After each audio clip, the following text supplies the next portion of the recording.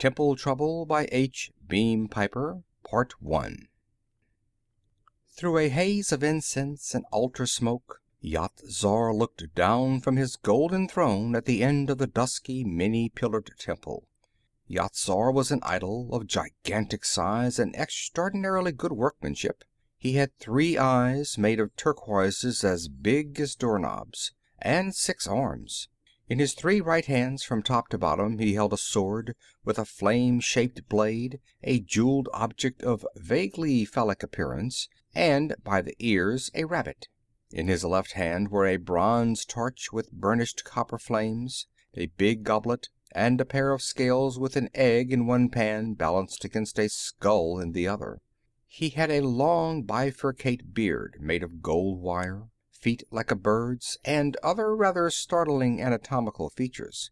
His throne was set upon a stone plinth about twenty feet high, into the front of which a doorway opened. Behind him was a wooden screen, elaborately gilded and painted. Directly in front of the idol, Ghullam the high priest knelt on a big blue and gold cushion.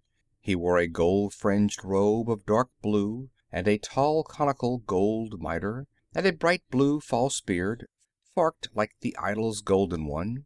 He was intoning a prayer and holding up in both hands, for divine inspection and approval, a long curved knife. Behind him, about thirty feet away, stood a square stone altar, around which four of the lesser priests, in light blue robes with less gold fringe and dark blue false beards, were busy with the preliminaries to the sacrifice. At considerable distance, about halfway down the length of the temple, some two hundred worshippers, a few substantial citizens in gold fringed tunics, artisans in tunics without gold fringe, soldiers in mail hauberks and plain steel caps, one officer in ornately gilded armor, a number of peasants in nondescript smocks, and women of all classes, were beginning to prostrate themselves on the stone floor. Ghullam rose to his feet, bowing deeply to Yat Zar and holding the knife extended in front of him, and backed away toward the altar.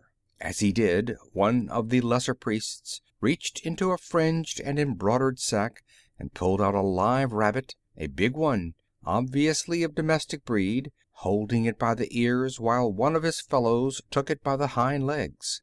A third priest caught up a silver pitcher while the fourth fanned the altar fire with a sheet silver fan. As they began chanting antiphonally, Ghullam turned and quickly whipped the edge of his knife across the rabbit's throat. The priest with the pitcher stepped in to catch the blood, and when the rabbit was bled, it was laid on the fire. Ghullam and his four assistants all shouted together, and the congregation shouted in response. The high priest waited as long as was decently necessary, and then, holding the knife in front of him, stepped around the prayer cushion and went through the door under the idol into the Holy of Holies. A boy in novice's white robes met him and took the knife, carrying it reverently to a fountain for washing. Eight or ten under priests, sitting at a long table, rose and bowed, then sat down again and resumed their eating and drinking. At another table, a half dozen upper priests nodded to him in casual greeting.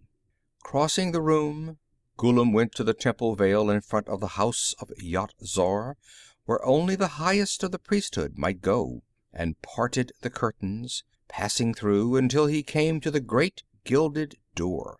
Here he fumbled under his robe and produced a small object like a mechanical pencil, inserting the pointed end in a tiny hole in the door and pressing on the other end. The door opened, then swung shut behind him, and as it locked itself the lights came on within. Ghullam removed his miter and his false beard, tossing them aside on a table, then undid his sash and peeled out of his robe. His regalia discarded, he stood for a moment in loose trousers and a soft white shirt, with a pistol-like weapon in a shoulder holster under his left arm. No longer Ghullam, the high priest of Yat Zar, but now Stranor Sleth, resident agent of this timeline of the fourth level Proto-Aryan sector for the Transtemporal Mining Corporation. Then he opened a door at the other side of the anteroom and went to the antigrav shaft, stepping over the edge and floating downward. There were temples of Yat Zar on every time line of the Proto Aryan sector, for the worship of Yat Zar was ancient among the Hulgun people of that area of paratime, but there were only a few which had such installations as this, and all of them were owned and operated by Transtemporal Mining, which had the fissionable ores franchise for this sector. During the ten elapsed centuries since Transtemporal had begun operations on this sector, the process had become standardized. A few First Level paratimers would transpose to a selected timeline and abduct an upper priest of Yat Zar, preferably the high priest of the temple at Yoldav or Zurb. He would be drugged and transposed to the First Level, where he would receive hypnotic indoctrination and, while unconscious, have an operation performed on his ears which would enable him to hear sounds well above the normal audible range. He would be able to hear the shrill sonar cries of bats, for instance, and more importantly, he would be able to hear voices when the speaker used a first level audio frequency step up phone. He would also receive a memory obliteration from the moment of his abduction and a set of pseudo memories of a visit to the heaven of Yat Zar on the other side of the sky. Then he would be returned to his own time line and left on a mountaintop far from his temple, where an unknown peasant leading a donkey would always find him, return him to the temple, and then vanish inexplicably. Then the priest would begin hearing voices, usually while serving at the altar. They would warn of future events, which would always come to pass exactly as foretold. Or they might bring tidings of things happening at a distance, the news of which would not arrive by normal means for days or even weeks. Before long, the holy man who had been carried alive to the heaven of Yat Zar would acquire a most awesome reputation as a prophet and would speedily rise to the very top of the priestly hierarchy. Then he would receive two commandments from Yat Zar. The first would ordain that all lower priests must travel about from temple to temple, never staying longer than a year at any one place. This would ensure a steady influx of newcomers personally unknown to the local upper priests, and many of them would be first level paratimers. Then there would be a second commandment a house must be built for Yat Zar against the rear wall of each temple. Its dimensions were minutely stipulated. Its walls were to be of stone, without windows, and there was to be a single door opening into the Holy of Holies, and before the walls were finished, the door was to be barred from within. A triple veil of brocaded fabric was to be hung in front of this door, Sometimes such innovations met with opposition from the more conservative members of the hierarchy. When they did, the principal objector would be seized with a sudden and violent illness. He would recover if and when he withdrew his objections. Very shortly after the house of Yat Zar would be completed, strange noises would be heard from behind the thick walls. Then, after a while, one of the younger priests would announce that he had been commanded in a vision to go behind the veil and knock upon the door. Going behind the curtains, he would use his door activator to let himself in and return by paratime conveyor to the first level to enjoy a well earned vacation. When the high priest would follow him behind the veil, after a few hours, and find that he had vanished, it would be announced as a miracle. A week later an even greater miracle would be announced. The young priest would return from behind the triple veil, clad in such raiment as no man had ever seen, and bearing in his hands a strange box. He would announce that Yat Zar had commanded him to build a new temple in the mountains, at a place to be made known by the voice of the god speaking out of the box. This time there would be no doubts and no objections a procession would set out, headed by the new revelator bearing the box, and when the clicking voice of the god spoke rapidly out of it, the site would be marked and work would begin. No local labor would ever be employed on such temples. The masons and woodworkers would be strangers, come from afar and speaking a strange tongue, and when the temple was completed they would never be seen to leave it. Men would say that they had been put to death by the priest and buried under the altar to preserve the secrets of the god, and there would always be an idol of Yat Zar, obviously of heavenly origin, since its workmanship was beyond the powers of any local craftsman. The priests of such temple would be exempt, by divine decree, from the rule of yearly travel. Nobody, of course, would have the least idea that there was a uranium mine in operation under it, shipping ore to another time line. The Hulgun people knew nothing about uranium, and neither did they as much as dream that there were other time lines. The secret of paratime transposition belonged exclusively to the First Level civilization which had discovered it, and it was a secret that was guarded well. Stranor Sleth, dropping to the bottom of the antigrav shaft, cast a hasty and instinctive glance to the right, where the freight conveyors were. One was gone, taking its cargo over hundreds of thousands of para years to the First Level.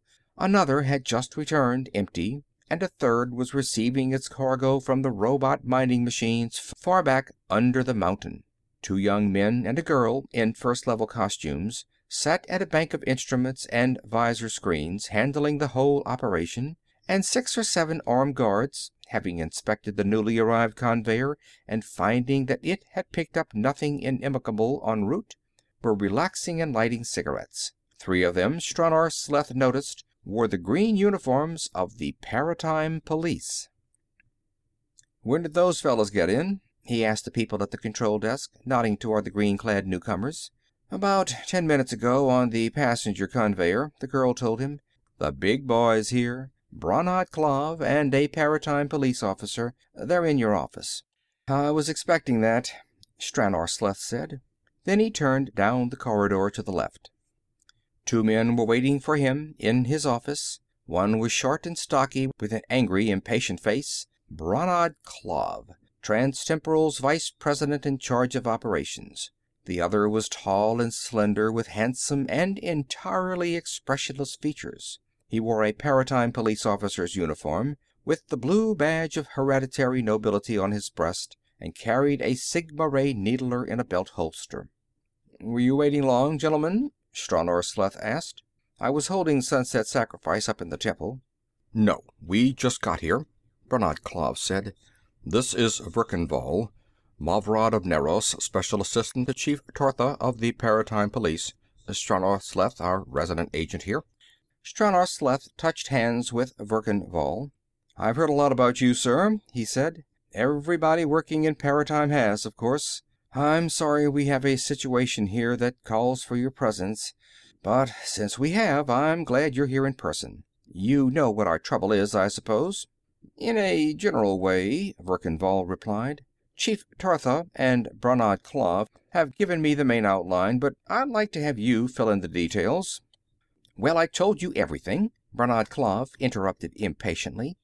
"It's just that Stranor's let this blasted local king, Kurchuk, get out of control. If I He stopped short, catching sight of the shoulder holster under Stranor Sleth's left arm. "Were you wearing that needler up in the temple?" he demanded. "You're blasted right I was!" Stranor Sleth retorted. "And any time I can't arm myself for my own protection on this time line, you can have my resignation. I'm not getting into the same jam as those people at Zurb." "Well, never mind about that," Verkan Vall intervened. "Of course Stranor Sleth has a right to arm himself. I wouldn't think of being caught without a weapon on this time line, myself. Now, Stranor, suppose you tell me what's been happening here from the beginning of this trouble." End of Part One. Part Two. It started, really, about five years ago, when Kurchuk, the King of Zurb, married the Chuldun Princess Dareth from the country over beyond the Black Sea, and made her his queen, over the heads of about a dozen daughters of the local nobility whom he'd married previously. Then he brought in this Chuldun scribe, Labdurg, and made him overseer of the kingdom, roughly prime minister. There was a lot of dissatisfaction over that, and for a while it looked as though he was going to have a revolution on his hands. But he brought in about five thousand Chuldun mercenaries, all archers. These Hulguns can't shoot a bow worth beans. So the dissatisfaction died down, and so did most of the leaders of the disaffected group. The story I get is that this Labdurg arranged the marriage in the first place. It looks to me as though the Chuldun emperor is intending to take over the Hulgun kingdoms, starting with Zurb. Well, these Chulduns all worship a god called Muz Azin. Muz Azin is a crocodile with wings like a bat and a lot of knife blades in his tail. He makes this Yat Zar look downright beautiful. So do his habits. Muz Azin fancies human sacrifices. The victims are strung up by the ankles on a triangular frame and lashed to death with iron barbed whips. Nasty sort of a deity, but this is a nasty timeline. The people here get a big kick out of watching these sacrifices. Much better show than our bunny killing. The victims are usually criminals or overage or incorrigible slaves or prisoners of war. Of course, when the Chulduns began infiltrating the palace, they brought in their crocodile god too, and a flock of priests, and King Kurchuk let them set up a temple in the palace. Naturally, we preached against this heathen idolatry in our temples, but religious bigotry isn't one of the numerous imperfections of this sector. Everybody's deity is as good as anybody else's. Indifferentism, I believe, is the theological term. Anyhow, on that basis, things went along fairly well till two years ago when we had this run of bad luck. Bad luck! Brannad Klav snorted. That's the standing excuse of every incompetent. Go on, Stranor. What sort of bad luck? Verkan Vall asked. Well, first we had a drought beginning in early summer that burned up most of the grain crop. Then, when that broke, we got heavy rains and hailstorms and floods, and that destroyed what got through the dry spell. When they harvested what little was left, it was obvious there'd be a famine, so we brought in a lot of grain by conveyor and distributed it from the temples. A miraculous gift of Yat Zar, of course. Then the main office on first level got scared about flooding this timeline with lots of unaccountable grain and were afraid we'd make the people suspicious and ordered it stopped. Then Kurchuk, and I might add that the kingdom of Zurb was the hardest hit by the famine, ordered his army mobilized and started an invasion of the Jumdun country, south of the Carpathians, to get grain. He got his army chopped up, and only about a quarter of them got back with no grain. You ask me? I'd say that Labdurg framed it to happen that way. He advised Kurchuk to invade in the first place, and I mentioned my suspicion that Chombrog, the Chuldun emperor, is planning to move in on the Hulgun kingdoms. Well, what would be smarter than to get Kurchuk's army smashed in advance? How did the defeat occur? Verkan Vall asked. Any suspicion of treachery? Nothing you could put your finger on, except that the Jumduns seem to have a pretty good intelligence about Kurchuk's invasion route and battle plans. It could have been nothing worse than stupid tactics on Kurchuk's part. See, these Hulguns, and particularly the Zurb Hulguns, are spearmen.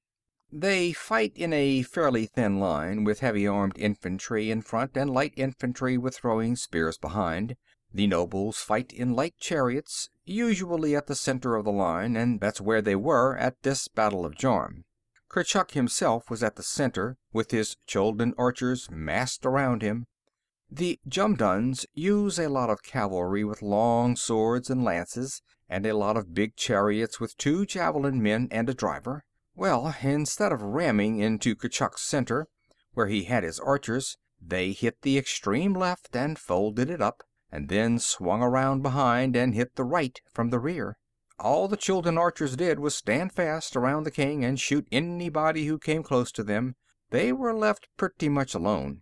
But the Hulgun spearmen were cut to pieces. The battle ended with Kurchuk and his nobles and his archers making a fighting retreat, while the Jumdun cavalry were chasing the spearmen every which way and cutting them down and lancing them as they ran. Well, whether it was Labdurg's treachery or Kurchuk's stupidity, in either case it was natural for the archers to come off easiest and the Hulgun spearmen to pay the butcher's bill. But try and tell these knuckleheads anything like that. Muz protected the Chulduns, and Yat Zar let the Hulguns down, and that was all there was to it. The Zurb temple started losing worshippers, particularly the families of the men who didn't make it back from Jorm.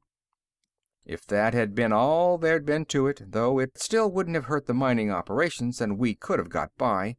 But what really tore it was when the rabbits started to die.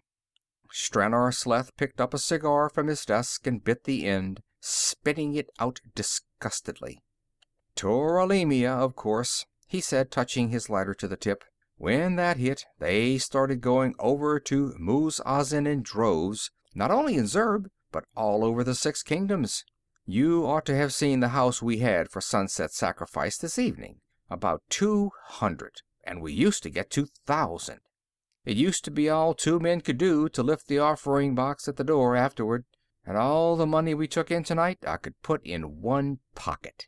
The high priest used language that would have been considered unclerical even among the Hulguns. Verkan Vall nodded. Even without the quickie hypno-mech he had taken for this sector, he knew that the rabbit was domesticated among the Proto-Aryan Hulguns and was their chief meat animal. Hulgun rabbits were even a minor import on the First Level, and could be had at all the better restaurants in cities like Dhergabar. He mentioned that. That's not the worst of it, Stranor Sleth told him. See, the rabbit's sacred to Yat Zar. Not taboo, just sacred. They have to use a specially consecrated knife to kill them. Consecrating rabbit knives has always been an item of temple revenue, and they must say a special prayer before eating them. We could have got around the rest of it, even the Battle of Jorm, punishment by Yat Zar for the sin of apostasy. But Yat Zar just wouldn't make rabbits sick. Yat Zar thinks too well of rabbits to do that, and it's not been any use claiming he would, so there you are. Well, I take the attitude that this situation is a result of your incompetence, Brannad Klav began in a bully-ragging tone. You're not only the high priest of this temple, you're the acknowledged head of the religion in all the Hulgun kingdoms. You should have had more hold on the people than to allow anything like this to happen. Hold on the people? Stranor Sleth fairly howled, appealing to Verkan Vall. What does he think a religion is on this sector, anyhow? You think these savages dreamed up that six-armed monstrosity up there to express their yearning for higher things? or to symbolize their moral ethos, or as a philosophical escape hatch from the dilemma of causation? They never even heard of such matters.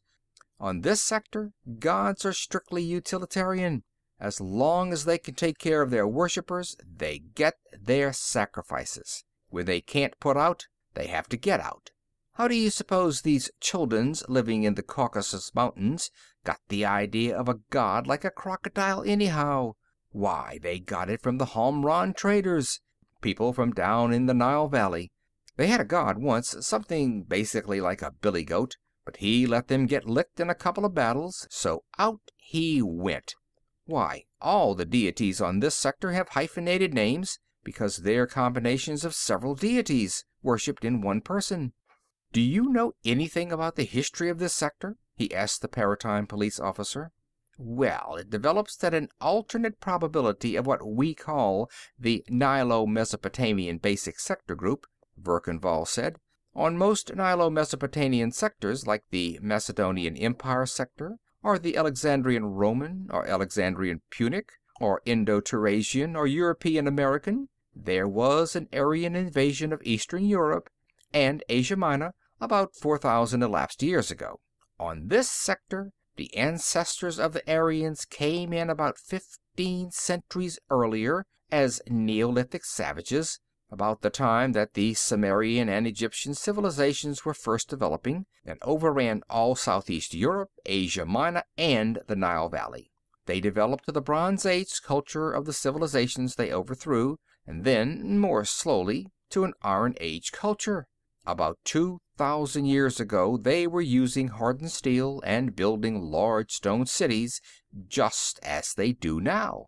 At that time they reached cultural stasis. But as for their religious beliefs, you've described them quite accurately. A god is only worshipped as long as the people think him powerful enough to aid and protect them. When they lose that confidence, he is discarded and the god of some neighboring people is adopted instead. He turned to Brannad Klav. "Didn't Stranor report this situation to you when it first developed?" he asked. "I know he did. He speaks of receiving shipments of grain by conveyer for temple distribution. Then why didn't you report it to Paratime Police? That's what we have a Paratime Police force for." "Well, yes, of course, but I had enough confidence in Stranor Sleth to think that he could handle the situation himself. I didn't know he'd gone sla "Look, I can't make weather even if my parishioners think I can," Stranor Sleth defended himself. "And I can't make a great military genius out of a blockhead like Kurchuk. And I can't immunize all the rabbits on this time line against tularemia, even if I'd had any reason to expect a tularemia epidemic, which I hadn't, because the disease is unknown on this sector. This is the only outbreak of it anybody's ever heard of on any Proto Aryan time line." "No, but I'll tell you what you could have done," Verkan Vall told him. When this Kurchuk started to apostatize, you could have gone to him at the head of a procession of priests, all paratimers and all armed with energy weapons, and pointed out his spiritual duty to him, and if he gave you any back talk, you could have pulled out that needler and rayed him down, and then cried, Behold the vengeance of Yat Zar upon the wicked king. I'll bet any sum at any odds that his successor would have thought twice about going over to Muz Azin, and none of these other kings would have even thought once about it. "Ha! That's what I wanted to do!" Stranor Sleth exclaimed. "And who stopped me? I'll give you just one guess." "Well, it seems there was slackness here, but it wasn't Stranor Sleth who was slack," Verkan Vall commented. Well, I must say I never thought I'd hear an officer of the Paratime Police criticizing me for trying to operate inside the Paratime Transportation Code, Brannad Klav exclaimed. Verkan Vall, sitting on the edge of Stranor Sleth's desk, aimed his cigarette at Brannad Klav like a blaster. "Now look," he began. There is one, and only one, inflexible law regarding outtime activities. The secret of paratime transposition must be kept inviolate, and any activity tending to endanger it is prohibited. That's why we don't allow the transposition of any object of extraterrestrial origin to any time line on which space travel has not been developed. Such an object may be preserved, and then, after the local population begin exploring the planet from whence it came, there will be dangerous speculations and theories as to how it arrived on Terra at such an early date. I came within inches, literally, of getting myself killed not long ago, cleaning up the result of a violation of that regulation. For the same reason, we don't allow the export to outtime natives of manufactured goods too far in advance of their local culture. That's why, for instance, you people have to hand finish all those big Yat Zar idols to remove traces of machine work. One of those things may be around a few thousand years from now, and when these people develop a mechanical civilization. But as far as raying down this Kurchuk is concerned, these Hulguns are completely non-scientific. They wouldn't have the least idea what happened. They'd believe that Yat Zar struck him dead, as gods on this plane of culture are supposed to do. And if any of them noticed the needler at all, They'd think it was just a holy amulet of some kind. "But the law is the law," Brannad Klav began. End of Part Two. Part Three. Verkan Vall shook his head. Brannad, as I understand, you were promoted to your present position on the retirement of Salvan Marth about ten years ago. Up to that time you were in your company's financial department. You were accustomed to working subject to the First Level Commercial Regulation Code. Now, any law binding upon our people at home on the First Level is inflexible. It has to be. We found out over fifty centuries ago that laws have to be rigid and without discretionary powers in administration in order that people may be able to predict their effect and plan their activities accordingly. Naturally, you became conditioned to operating in such a climate of legal inflexibility. But in paratime the situation is entirely different. There exists, within the range of the Ghaldron Hesthor paratemporal field generator, a number of time lines of the order of 10 to the hundred thousandth power. In effect, that many different worlds. In the past 10,000 years, we have visited only the tiniest fraction of these, but we have found everything from time lines inhabited only by subhuman ape men to second level civilizations which are our equal in every respect but knowledge of paratemporal transposition. We even know of one second level civilization which is approaching the discovery of an interstellar hyperspatial drive, something we've never even come close to. And in between are every degree of savagery, barbarism, and civilization. Now, it's just not possible to frame any single code of laws applicable to conditions on all of these. The best we can do is prohibit certain flagrantly immoral types of activity, such as slave trading, introduction of new types of narcotic drugs, or out and out piracy and brigandage. If you're in doubt as to the legality of anything you want to do out time, go to the Judicial Section of the Paratime Commission and get an opinion on it. That's where you made your whole mistake. You didn't find out just how far it was allowable for you to go. He turned to Stranor Sleth again. Well, that's the background, then. Now tell me about what happened yesterday at Zurb. Well, a week ago, Kurchuk came out with this decree closing our temple at Zurb and ordering his subjects to perform worship and make money offerings to Muz Azin. The Zurb temple isn't a mask for a mine. Zurb's too far south for the uranium deposits. It's just a center for propaganda and that sort of thing. But we have a house of Yat Zar and a conveyor and most of the upper priests are paratimers. Well, our man there, Tammand Drav, alias Khoram, defied the king's order, so Kurchuk sent a company of Chuldun archers to close the temple and arrest the priest. Tammand Drav got all his people who were in the temple at the time into the house of Yat Zar and transposed them back to the first level. He had orders Stranor Sleth looked meaningly at Brannad Klav not to resist with energy weapons or even ultrasonic paralyzers. And while we're on the subject of letting the local yokels see too much, about fifteen of the underpriests he took to the first level were Hulgun natives.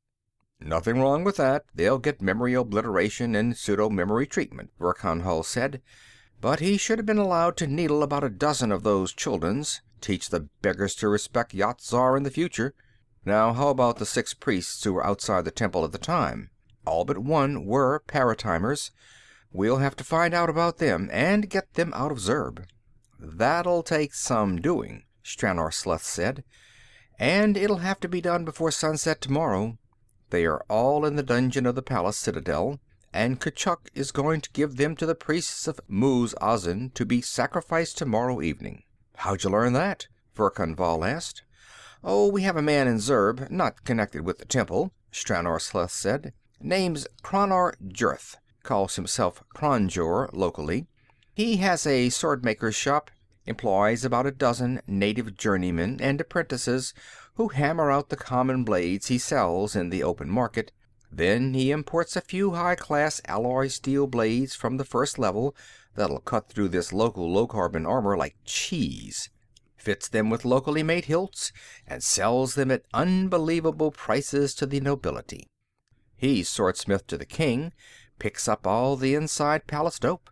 Of course, he was among the first to accept the new gospel and go over to Muz Azin he has a secret room under his shop, with his conveyor and a radio.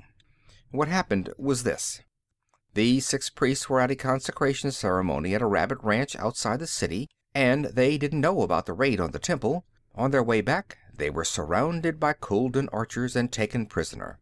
They had no weapons but their sacrificial knives. He threw another dirty look at Brannad Klav. So they're due to go up on the triangles at sunset tomorrow." "We'll have to get them out before then," Verkan Vall said. "They're our people, and we can't let them down. Even the native is under our protection, whether he knows it or not. And in the second place, if those priests are sacrificed to Muz Azin," he told Brannad Klav, "you can shut down everything on this time line, pull out or disintegrate your installations, and fill in your mine tunnels. Yat Zar will be through on this time line, and you'll be through along with him. And considering that your Fissionables franchise for this sector comes up for renewal next year, your company will be through in this paratime area." "You believe that would happen?" Brannad Klav asked anxiously. "I know it will, because I'll put through a recommendation to that effect if those six men are tortured to death tomorrow," Verkan Vall replied. "And in the fifty years I've been in the police department, I've only heard of five such recommendations being ignored by the Commission. You know, Fourth Level Mineral Products Syndicate is after your franchise. Ordinarily, they wouldn't have a chance of getting it, but with this, maybe they will, even without my recommendation. This was all your fault, for ignoring Stranor Sleth's proposal and for denying those men the right to carry energy weapons." "Well, we were only trying to stay inside the paratime code," Brannad Klav pleaded. "If it isn't too late, now, you can count on me for every cooperation." He fiddled with some papers on the desk. "What do you want me to do to help?" "I'll tell you that in a minute." Verkan Vall walked to the wall and looked at the map, then returned to Stranor Sleth's desk. Uh, "How about these dungeons?" he asked. "How are they located, and how can we get into them?" "I'm afraid we can't," Stranor Sleth told him. "Not without fighting our way in. They're under the palace citadel, a hundred feet below ground. They're spatially coexistent with the heavy water barriers around one of our company's plutonium piles on the first level, and below surface on any unoccupied timeline I know of. So we can't transpose into them. This palace is really a walled city inside a city. Uh, here, I'll show you." Going around the desk, he sat down and, after looking in the index screen, punched a combination on the keyboard. A picture, projected from the microfilm bank, appeared on the view screen.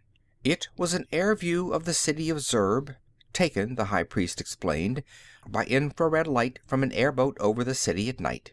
It showed a city of an entirely pre mechanical civilization, with narrow streets lined on either side by low one and two story buildings. Although there would be considerable snow in winter, the roofs were usually flat probably massive stone slabs supported by pillars within. Even in the poorer sections this was true, except for the very meanest houses and outbuildings, which were thatched. Here and there some huge pile of masonry would rear itself above its lower neighbors, and where the streets were wider, occasional groups of large buildings would be surrounded by battlemented walls. Stranor Sleth indicated one of the larger of these. "Here's the palace," he said. And here's the temple of Yat Zar, about half a mile away. He touched a large building occupying an entire block. Between it and the palace was a block wide park, with lawns and trees on either side of a wide roadway connecting the two. Now, here's a detailed view of the palace. He punched another combination. The view of the city was replaced by one taken from directly overhead of the walled palace area. "Here's the main gate in front, at the end of the road from the temple," he pointed out. "Over here on the left are the slaves' quarters, and the stables and workshops and storehouses, and so on. Over here on the other side are the nobles' quarters. And this," he indicated a towering structure at the rear of the walled enclosure, "is the citadel and the royal dwelling. Audience halls on this side, harem over here on this side. A wide stone platform, about fifteen feet high, runs completely across the front of the citadel, from the audience hall to the harem. Since this picture was taken, the new temple of Muz Azin was built right about here." He indicated that it extended out from the audience hall into the central courtyard. "And out here on the platform they've put up about a dozen of these triangles, about twelve feet high, on which the sacrificial victims are whipped to death. Yes, about the only way we could get down to the dungeons would be to make an airdrop onto the Citadel roof and fight our way down with needlers and blasters, and I'm not willing to do that as long as there's any other way, Verkan Vall said. We'd lose men even with needlers against bows, and there's a chance that some of our equipment might be lost in the melee and fall into outtime hands. You say this sacrifice comes off tomorrow at sunset? That would be about actual sunset plus or minus an hour. These people aren't astronomers. They don't even have good sundials, and it might be a cloudy day, Stranor Sleth said. There will be a big idol of Muz Azin on a cart set about here, he pointed. After the sacrifice, it is to be dragged down this road outside to the temple of Yat Zar and set up there. The temple is now occupied by about twenty Chuldun mercenaries and five or six priests of Muz Azin. They haven't, of course, got into the house of Yat Zar. The doors of impervium steel about six inches thick, with a plating of collapsed nickel under the gilding. It would take a couple of hours to cut through it with our best atomic torch, and there isn't even a tool on this timeline that could even scratch it. And the insides of the walls are lined with the same thing. Do you think our people have been tortured yet? Verkan Vall asked. No. Stranor Sleth was positive. They'll be fairly well treated until the sacrifice. The idea is to make them last as long as possible on the triangles. Muz Azin likes to see a slow killing, and so do the mobs of spectators. That's good. Now, here's my plan. We won't try to rescue them from the dungeons. Instead, we'll transpose back to the Zurb temple from the first level, in considerable force, say a hundred or so men, and march on the palace to force their release. You're in constant radio communication with all the other temples on this timeline, I suppose? Yes, certainly. All right, pass this out to everybody. Authority Paratime Police, in my name, acting for Tortha Karf. I want all paratimers who can possibly be spared to transpose to first level immediately and rendezvous at the first level terminal of the Zurb Temple conveyor as soon as possible. Close down all mining operations and turn over temple routine to the native underpriests. You can tell them that the upper priests are retiring to their respective houses of Yat Zar to pray for the deliverance of the priests in the hands of King Kurchuk. And everybody is to bring back his priestly regalia to the first level. That will be needed. He turned to Brannad Klav. I suppose you keep spare regalia in stock on the first level? Yes, of course. We keep plenty of everything in stock robes, miters, false beards of different shades, everything. And these big Yat Zar idols, they're mass produced on the first level? You have one available now? Good. I'll want some alterations made on one. Uh, for one thing, I'll want it plated heavily, all over, with collapsed nickel. For another, I'll want it fitted with anti-grav units and some sort of propulsion units, and a loudspeaker and remote control. And Stranor, you get in touch with this sword maker, Crannar Jurth, and alert him to cooperate with us.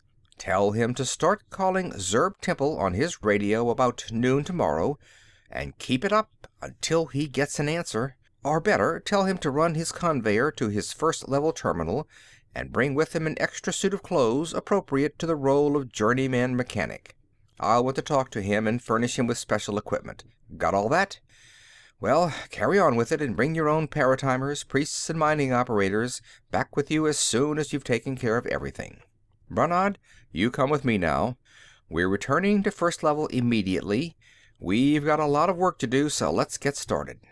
Anything I can do to help, just call on me for it, Brannad Klav promised earnestly.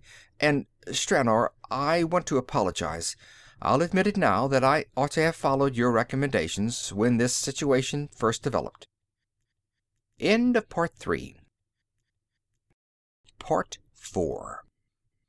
By noon of the next day, Verkan Vall had at least a hundred men gathered in the big room at the first level fissionables refinery at Jarnabar, spatially coexistent with the fourth level temple of Yat Zar at Zurb.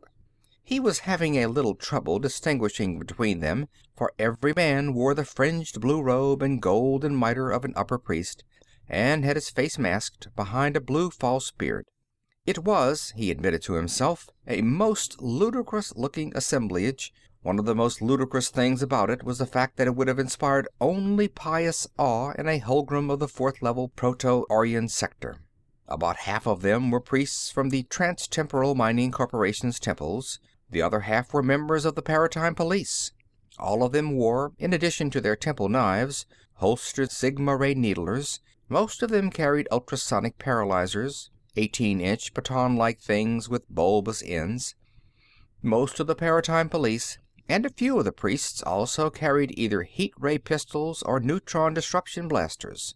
Verkan Vall wore one of the latter in a left hand belt holster. The Paratime Police were lined up separately for inspection, and Stranor Sleth, Tammand Drav of the Zurb temple, and several other high priests were checking the authenticity of their disguises. A little apart from the others, a paratime policeman in a high priest's robes and beard had a square box slung in front of him. He was fiddling with knobs and buttons on it, practicing. A big idol of Yat Zar, on antigravity, was floating slowly about the room in obedience to its remote controls, rising and lowering, turning about and pirouetting gracefully. "Hey, Vall," he called to his superior. "How's this?" The idol rose about five feet, turned slowly in a half circle, moved to the right a little, and then settled slowly toward the floor. "Fine, fine, Horv," Verkan Vall told him. "But don't set it down on anything, or turn off the antigravity. There's enough collapsed nickel plating on that thing to sink it a yard in soft ground." "I don't know what the idea of that was," Brannad Klav, standing beside him, said. "Understand, I'm not criticizing. I haven't any right to, under the circumstances. But it seems to me that armoring that thing in collapsed nickel was an unnecessary precaution." "Maybe it was," Verkan Vall agreed. "I sincerely hope so. But we can't take any chances. This operation has to be absolutely right. Ready, Tammand? All right. First detail, into the conveyer." He turned and strode toward a big dome of fine metallic mesh, thirty feet high and sixty in diameter, at the other end of the room. Tammand Drav and his ten paratimer priests and Brannad Klav and ten paratimer police followed him in. One of the latter slid shut the door and locked it. Verkan Vall went to the control desk at the center of the dome and picked up a two foot globe of the same fine metallic mesh, opening it and making some adjustments inside, then attaching an electric cord and closing it. He laid the globe on the floor near the desk and picked up the hand battery at the other end of the attached cord. "Not taking any chances at all, are you?" Brannad Klav asked, watching the operation with interest. "I never do, unnecessarily. There are too many necessary chances that have to be taken, in this work." Verkan Vall pressed the button on the hand battery. The globe of the floor flashed and vanished. Yesterday five paratimers were arrested. Any or all of them could have had door activators with them. Stranor Sleth says they were not tortured, but that is a purely inferential statement. They may have been, and the use of the activator may have been extorted from one of them. So I want to look at the inside of that conveyor chamber before we transpose into it. He laid the hand battery with the loose dangling wire that had been left behind on the desk, then lit a cigarette. The others gathered around, smoking and watching, careful to avoid the place from which the globe had vanished. Thirty minutes passed, and then, in a queer iridescence, the globe reappeared. Verkan Vall counted ten seconds and picked it up, taking it to the desk and opening it to remove a small square box. This he slid into a space under the desk and flipped a switch. Instantly a view screen lit up and a three dimensional picture appeared, the interior of a big room a hundred feet square and some seventy in height. There was a big desk and a radio, tables, couches, chairs, and an arms rack full of weapons, and at one end a remarkably clean sixty foot circle on the concrete floor, outlined in faintly luminous red. "How about it?" Verkan Vall asked Tammand Drav. "Anything wrong?" The Zurb high priest shook his head.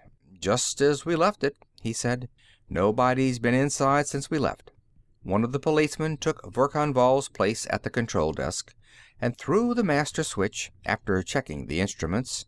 Immediately the paratemporal transposition field went on with a humming sound that mounted to a high scream, then settled to a steady drone.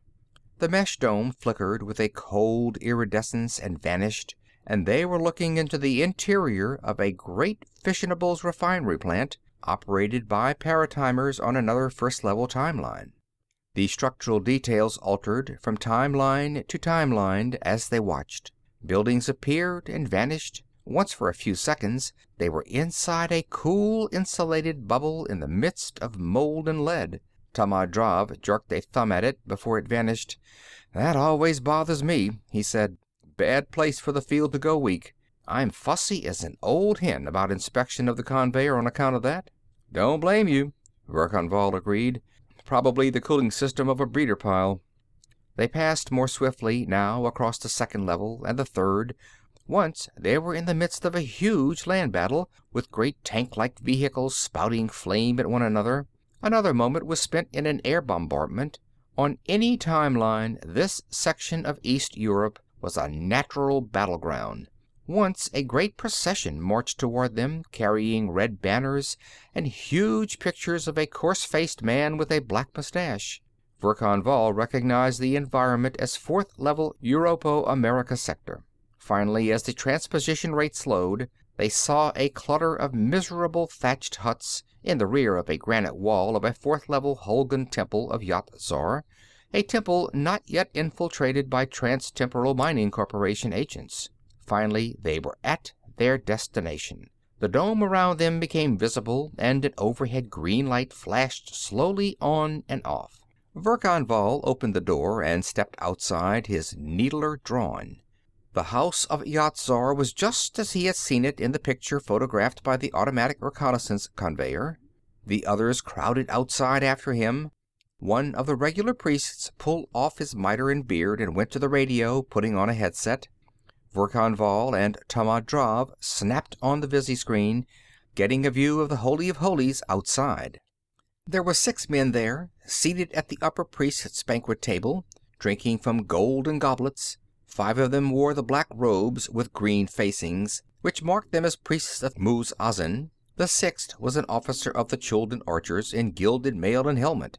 "Why, those are the sacred vessels of the temple!" Tammand Drav cried, scandalized. Then he laughed, in self ridicule. "I'm beginning to take this stuff seriously, myself. Time I put in for a long vacation. I was actually shocked at the sacrilege." "Well, let's overtake the infidels in their sins," Verkan Vall said. "Paralyzers will be good enough." He picked up one of the bulb headed weapons and unlocked the door. Tammand Drav and another of the priests of the Zurb temple following, and the others crowding behind, they passed out through the Veils and burst into the Holy of Holies. Verkan Vall pointed the bulb of his paralyzer at the six seated men and pressed the button. Other paralyzers came into action and the whole sextet were knocked senseless. The officer rolled from his chair and fell to the floor in a clatter of armor. Two of the priests slumped forward on the table. The others merely sank back in their chairs, dropping their goblets. "Give each one of them another dose to make sure," Verkan Vall directed a couple of his own men. "Now, Tammand, any other way into the main temple beside that door?" "Up those steps." Tammand Drav pointed. "There's a gallery along the side; we can cover the whole room from there. Take your men and go up there. I'll take a few through the door. There'll be about twenty archers out there, and we don't want any of them loosing any arrows before we can knock them out. Three minutes be time enough?" "Easily. Make it two," Tammand Drav said. He took his priests up the stairway and vanished into the gallery of the temple. Verkan Vall waited until one minute had passed, and then, followed by Brannad Klav and a couple of paratime policemen, he went under the plinth and peered out into the temple. Five or six archers, in steel caps and sleeveless leather jackets sewn with steel rings, were gathered around the altar, cooking something in a pot on the fire. Most of the others, like veteran soldiers, were sprawled on the floor trying to catch a short nap, except half a dozen who crouched in a circle playing some game with dice, another almost universal military practice. The two minutes were up. He aimed his paralyzer at the men around the altar and squeezed the button. swinging it from one to another and knocking them down with a bludgeon of inaudible sound. At the same time, Tammand Drav and his detail were stunning the gamblers. Stepping forward and to one side, Verkan Vall, Brannad Klav and the others took care of the sleepers on the floor. In less than thirty seconds, every Chuldun in the temple was incapacitated. "All right, make sure none of them come out of it prematurely," Verkan Vall directed. "Get their weapons, and be sure nobody has a knife or anything hidden on him. Who has the syringe and the sleep drug ampules? Somebody had, it developed, who was still on the first level, to come up with the second conveyer load. Verkan Vall swore. Something like this always happened on any operation involving more than half a dozen men.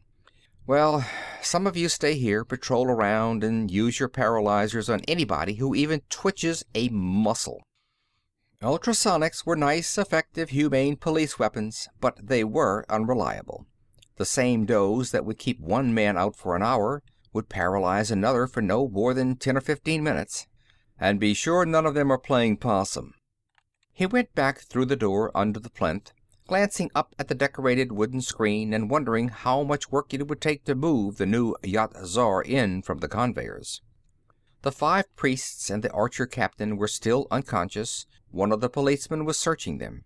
"Here's the sort of weapons these priests carry," he said, holding up a short iron mace with a spiked head. "Carry them on their belts." He tossed it on the table and began searching another knocked out hierophant. "Like this. Hey, look at this, will you?" He drew his hand from under the left side of the senseless man's robe and held up a sigma ray needler. Verkan Vall looked at it and nodded grimly. "Had it in a regular shoulder holster the policeman said, handing the weapon across the table. "What do you think? Find anything else funny on him? Wait a minute." The police pulled open the robe and began stripping the priest of Muz Azin. Verkan Vall came around the table to help. There was nothing else of a suspicious nature. "Could have got it from one of the prisoners, but I don't like the familiar way he's wearing that holster," Verkan Vall said. "Has the conveyor gone back yet?" When the policeman nodded, he continued. When it returns, take him to the first level. I hope they bring up the sleep drug with the next load. When you get him back, take him to Dhergabar by strato rocket immediately, and make sure he gets back alive. I want him questioned under narco hypnosis by a regular Paratime Commission psychotechnician in the presence of Chief Tortha Karf and some responsible Commission official. This is going to be hot stuff. Within an hour, the whole force was assembled in the temple. The wooden screen had presented no problem. It slid easily to one side, and the big idol floated on antigravity in the middle of the temple. Verkan Vall was looking anxiously at his watch. End of section 4. Part 5 It's about two hours to sunset, he said to Stranor Sleth. But as you pointed out, these Hulguns aren't astronomers, and it's a bit cloudy. I wish Crannar Jurth would call in with something definite. Another twenty minutes passed. Then the man at the radio came out into the temple. "Okay," he called. "The man at Crannar Jurth's called in. Crannar Jurth contacted him with a midget radio he has up his sleeve. He's in the palace courtyard now. Uh, they haven't brought out the victims yet, but Kurchuk has just been carried out on his throne to that platform in front of the citadel. Big crowd gathering in the inner courtyard, more in the streets outside. Palace gates are wide open. "That's it!" Verkan Vall cried. "Form up. The parade starting. Brannad, you and Tammand and Stranor and I in front. About ten men with paralyzers a little behind us. Then Yat Zar, about ten feet off the ground. Then the others. Forward, ho!" They emerged from the temple and started down the broad roadway toward the palace. There was not much of a crowd at first. Most of Zurb had flocked to the palace earlier, the lucky ones in the courtyard and the late comers outside. Those whom they did meet stared at them in open mouthed amazement, and then some, remembering their doubts and blasphemies, began howling for forgiveness. Others, a substantial majority, Realizing that it would be upon King Kurchuk that the real weight of Yat Zar's six hands would fall, took to their heels, trying to put as much distance as possible between them and the palace before the blow fell. As the procession approached the palace gates, the crowds were thicker, made up of those who had been unable to squeeze themselves inside. The panic was worse here, too. A good many were trampled and hurt in the rush to escape, and it became necessary to use paralyzers to clear a way. That made it worse. Everybody was sure that Yat Zar was striking sinners dead left and right. Fortunately, the gates were high enough to let the god through without losing altitude appreciably. Inside, the mob surged back, clearing a way across the courtyard. It was only necessary to paralyze a few here, and the levitated idol and its priestly attendants advanced toward the stone platform where the king sat on his throne, flanked by court functionaries and black-robed priests of Muz Azin. In front of this, a rank of Chuldun archers had been drawn up. Harv, move the Yat Zar forward about a hundred feet and up about fifty, Verkan Vall directed, quickly. As the six-armed anthropomorphic idol rose and moved closer towards its saurian rival, Verkan Vall drew his needler, scanning the assemblage around the throne anxiously. Where is the wicked king? A voice thundered, the voice of Stranor Sleth, speaking into a midget radio tuned to the loudspeaker inside the idol. Where is the blasphemer and desecrator, Kurchuk? "There's Labdurg in the red tunic beside the throne," Tammand Drav whispered. "And that's Ghromdur, the Muz Azin high priest, behind him." Verkan Vall nodded, keeping his eyes on the group on the platform. Ghromdur, the high priest of Muz Azin, was edging backward and reaching under his robe. At the same time an officer shouted an order, and the Chuldun archers drew arrows from their quivers and fitted them to their bowstrings. Immediately the ultrasonic paralyzers of the advancing paratimers went into action, and the mercenaries began dropping. Lay down your weapons, fools, the amplified voice boomed at them. Lay down your weapons, or you shall surely die. Who are you, miserable wretches, to draw bows against me? At first a few, then all of them, the Chulduns lowered or dropped their weapons and began edging away to the sides. At the center, in front of the throne, most of them had been knocked out. Verkan Vall was still watching the Muz Azin high priest intently. As Ghromdur raised his arm, there was a flash and a puff of smoke from the front of Yat Zar. The paint over the collapsed nickel was burned off, but otherwise the idol was undamaged. Verkan Vall swung up his needler and rayed Ghromdur dead. As the man in the green-faced black robes fell, a blaster clattered on the stone platform. Is that your puny best, Muz Azin? the booming voice demanded. Where is your high priest now? Harv faced Yat Zar toward Muz Azin. Verkan Vall said over his shoulder, drawing his blaster with his left hand. Like all First Level people, he was ambidextrous, although, like all paratimers, he habitually concealed the fact while out time. As the levitated idol swung slowly to look down upon its enemy on the built-up cart, Verkan Vall aimed the blaster and squeezed. In a spot less than a millimeter in diameter on the crocodile idol's side, a certain number of neutrons in the atomic structure of the stone from which it was carved broke apart becoming in effect atoms of hydrogen. With a flash and a bang, the idol burst and vanished. Yat Zar gave a dirty laugh and turned his back on the cart, which was now burning fiercely, facing King Kurchuk again. "Get up your hands, all of you!" Verkan Vall shouted in the First Level language, swinging the stubby muzzle of the blaster and the knob-tipped twin tubes of the needler to cover the group around the throne. "Come forward before I start blasting!" Labdurg raised his hands and stepped forward. So did two of the priests of Yat Zar. They were quickly seized by paratime policemen who swarmed up onto the platform and disarmed. All three were carrying sigma ray needlers, and Labdurg had a blaster as well. King Kurchuk was clinging to the arms of his throne, a badly frightened monarch, trying desperately not to show it. He was a big man, heavy shouldered, black bearded, Under ordinary circumstances he would probably have cut an imposing figure in his gold washed mail and his golden crown. Now his face was a dirty gray, and he was biting nervously at his lower lip. The others on the platform were in even worse state. The Hulgun nobles were grouped together, trying to dissociate themselves from both the king and the priests of Muz Azin. The latter were staring in a daze at the blazing cart, from which their idol had just been blasted. And the dozen men who were to have done the actual work of the torture sacrifice had all dropped their whips and were fairly gibbering in fear. Yat Zar, manipulated by the robed paratimer, had taken a position directly above the throne and was lowering slowly.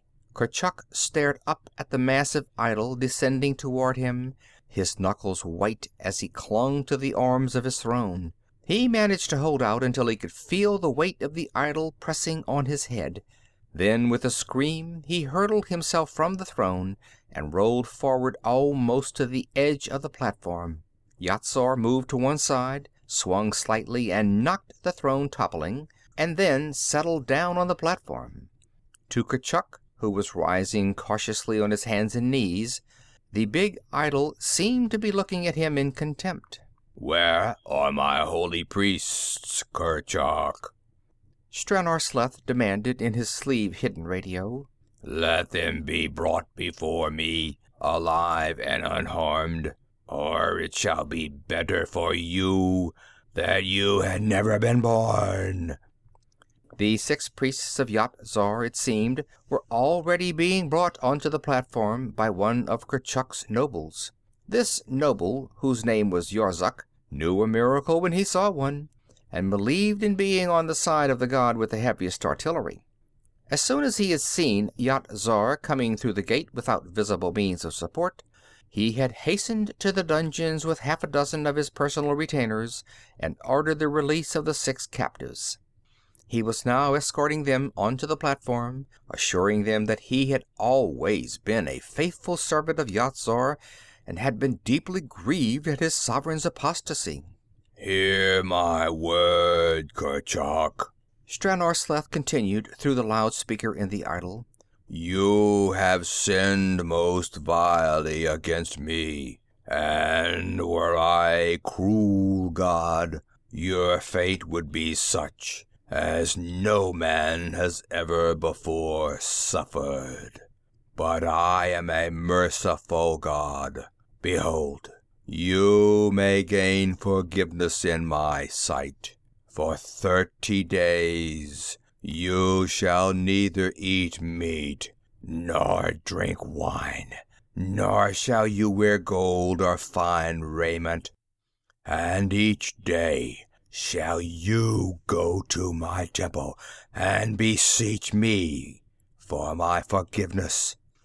And on the thirty-first day you shall set out barefoot and clad in the garb of a slave, and journey to my temple that is in the mountains over above Yoldav.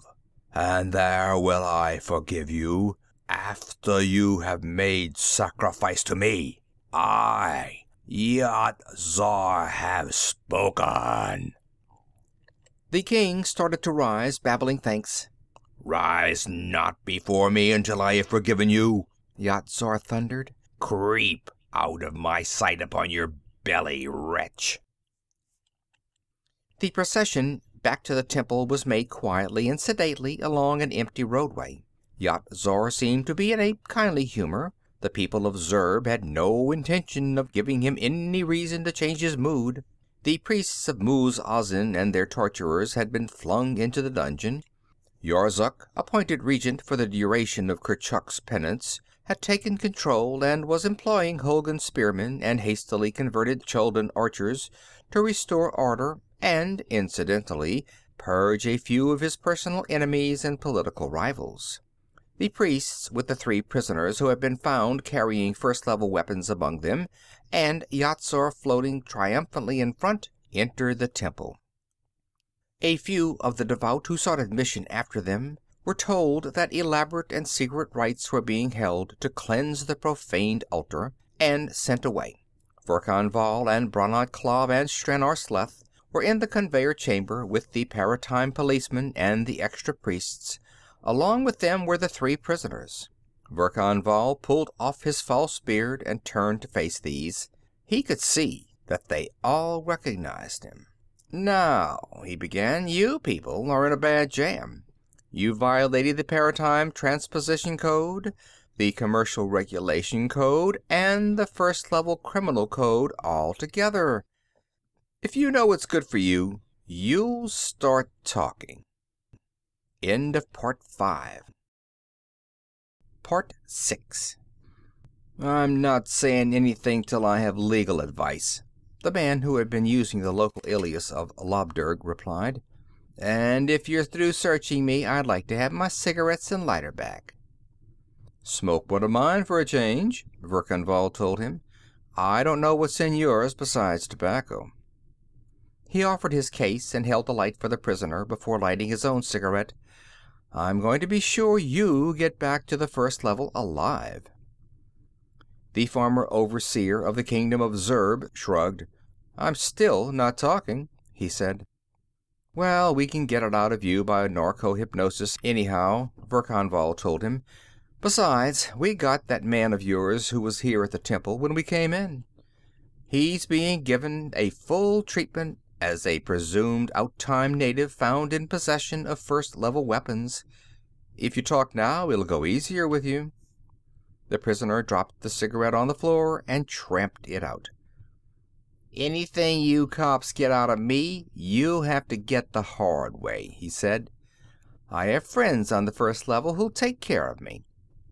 I doubt that. They'll have their hands full taking care of themselves after this gets out. Verkan Vall turned to the two in the black robes.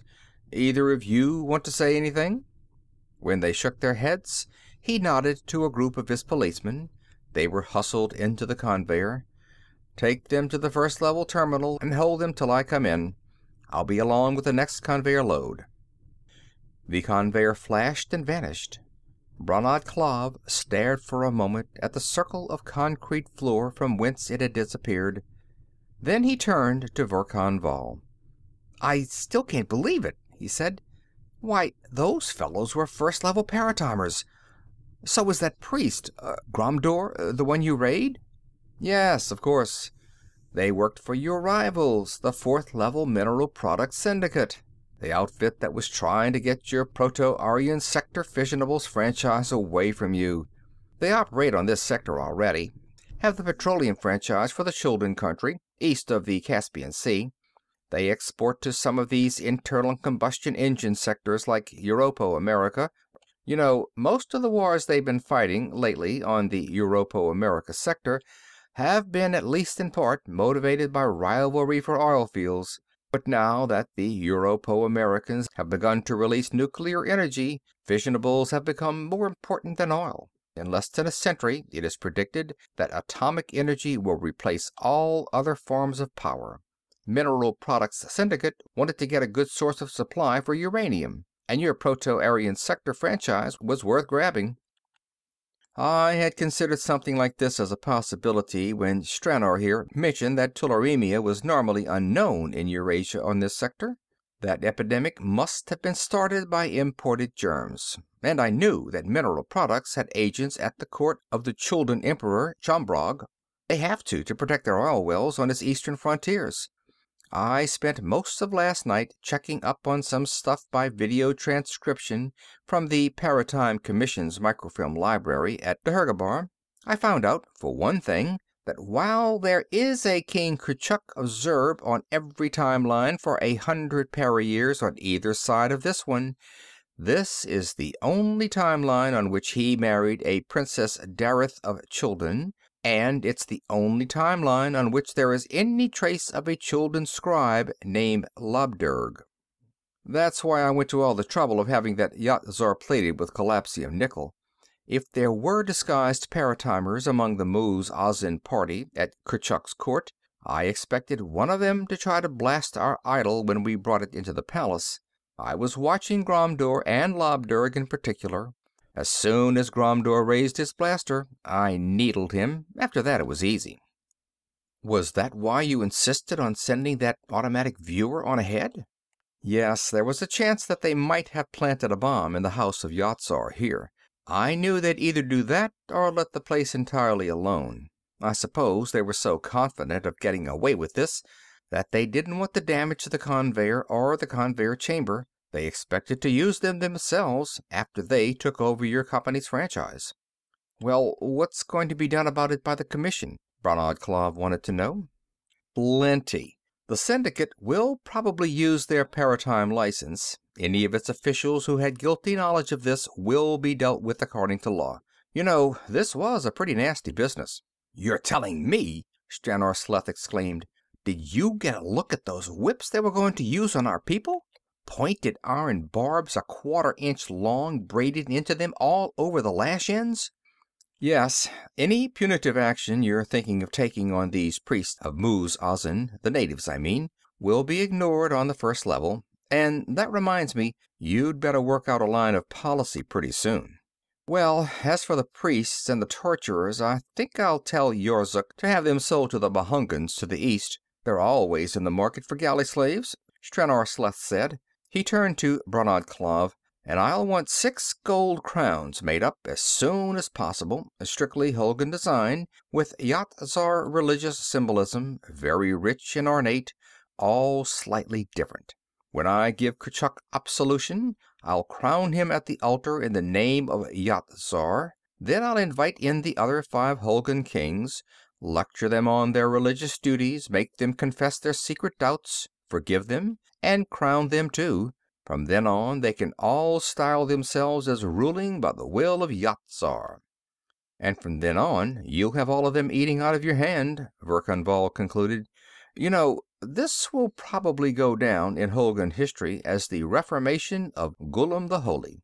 I've always wondered whether the theory of the divine right of kings was invented by the kings to establish their authority over the people or by the priests to establish their authority over the kings. It works out about as well one way as the other." "What I can't understand is this," Brannad Klav said. "It was entirely because of my respect for the Paratime Code that I kept Stranor Sleth from using fourth level weapons and other techniques to control these people with the show of apparent miraculous powers. But this fourth level mineral products syndicate was operating in violation of the Paratime Code by invading our franchise area. Why didn't they fake up a supernatural reign of terror to intimidate these natives?" "Ha! exactly because they were operating illegally," Verkan Vall replied. "Suppose they had started using needlers and blasters and anti-gravity and nuclear energy around here? The natives would have thought it was the power of Muz Azin, of course. But what would you have thought? You'd have known as soon as they tried it that First Level paratimers were working against you, and you'd have laid the facts before the Commission, and this time-line would have been flooded with paratime police. They had to conceal their operations not only from the natives, as you do, but also from us. So they didn't dare make public use of First Level techniques. Of course, when we came marching into the palace with that idol on antigravity, they knew at once what was happening. I have an idea that they only tried to blast that idol to create a diversion which would permit them to escape. If they could have got out of the palace, they'd made their way in disguise to the nearest Mineral Products Syndicate conveyor and transposed out of here. I realized that they could best delay us by blasting our idol, and that's why I had it plated with collapsed nickel. I think that where they made their mistake was in allowing Kurchuk to have those priests arrested and insisting on sacrificing them to Muz Azin. If it hadn't been for that, the Paratime Police wouldn't have been brought into this at all. Well, Stranor, you'll want to get back to your temple, and Brannad and I want to get back to the First Level. I'm supposed to take my wife to a banquet in the Dhergabar tonight, and with the fastest strato-rocket, I'll just barely make it. End of Part 6 End of Temple Trouble by H. Beam Piper